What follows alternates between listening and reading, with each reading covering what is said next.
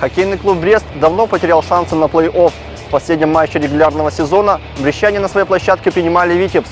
Победа в этом матче могла немного скрасить очередной неудачный чемпионат.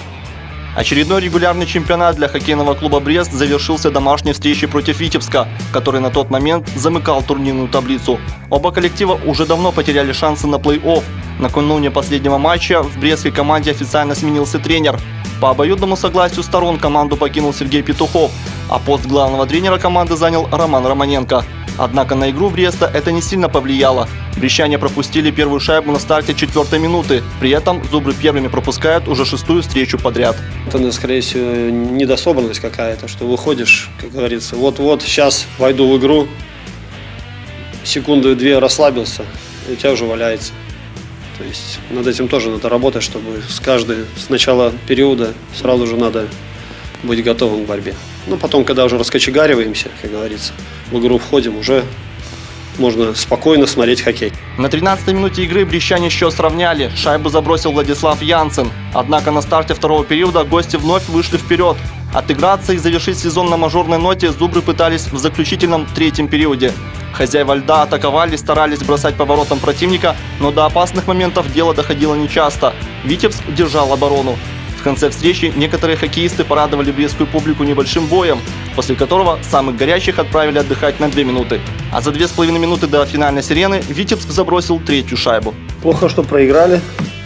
Одно хорошо, хоть девятое место, как говорится, сохранили. Уже хорошо. Ну, конечно, тяжело играть, когда уже все известно. Пацанов очень тяжело мотивировать чем-то, что надо, надо, надо. Все уже говорится, известно. Ну что, будем работать, чтобы, когда даже не надо, уже все решено, но надо играть до последнего. Мы профессиональная команда, надо исполнять свои обязанности. Ну, в принципе, все. Болельщикам спасибо. Закончили сезон. Спасибо, что ходили. Победа над Брестом позволила медведям уйти с последней строчки в чемпионате. Брещане от зоны плей-офф отстали на внушительное расстояние – 18 очков. Гораздо ближе оказалось последнее место в чемпионате. До него 7 очков. Итогом, конечно, недоволен, потому что все-таки надо было за восьмерку цепляться. Но, увы, не умеем мы чуть забивать. Если бы мы сколько моментов используем, забивали, мы бы восьмерку как бы могли нелегко, но по крайней мере, борьба была бы такая, что решалась бы до последней игры. Ну а так, девятое место, как говорится, хоть не скатились в самую низ турнира таблицы.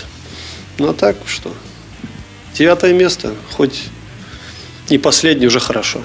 Ну а так будем работать. Надо работать, работать и очень сильно над э, голевыми моментами, чтобы было побольше взять и ворот. Брестская команда отметилась еще в одной номинации. Меньше всех забросили по итогам сезона.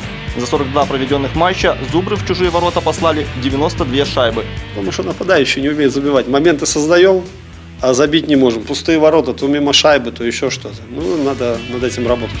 На этом сезон для Бреста закончен, а в Экстралиге тем временем начались игры плей-офф, куда пробились 8 лучших команд.